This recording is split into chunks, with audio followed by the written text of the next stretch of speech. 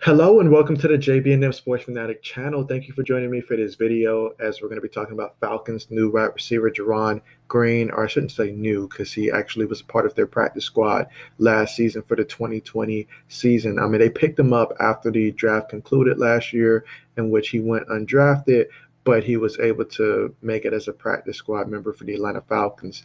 Now he's six feet, 187 pounds.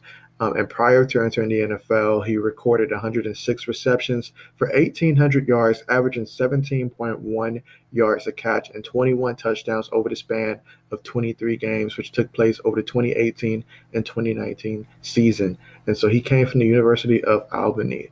So, yeah, this is a good pick. Well, a good, um, I should say, bringing them back. I mean, obviously last year, you know, he got to work on his craft, you know, with the coaching staff. So they obviously know what he can do, and they feel that he has some potential. So this will be an opportunity for him to one compete again for another practice squad spot. Two, try to make the actual roster this time around. You know, having that experience last year, that's ultimately the goal is to make the roster. So we'll see how it pans out for him. But he's definitely out there um, doing good for himself. The fact that he was able to not just be a one year practice squad wonder, but the same team wanted to retain him, that speaks volumes for um, his development. So excited to see how it plans out for him.